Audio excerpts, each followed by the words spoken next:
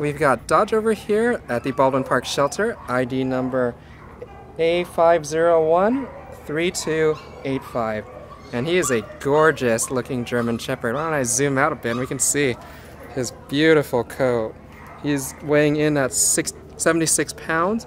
Uh, we think he's about three years old and he came as a stray on November the 19th. Why don't you tell us a little bit about him? You know, this guy is the epitome of a German Shepherd. He's absolutely gorgeous. He's alert, curious, um, loves people. Um, he's been non-reactive to other dogs, uh, walks pretty well on leash, pulls a little bit, but loves to walk. And he'll make someone a really great running or hiking buddy. Um, good for family with older kids just because of his size. He's kind of a big boy, but he's just a real gentleman. Absolutely. So why don't you come visit Dodge at the Baldwin Park Shelter? Oh, there you go.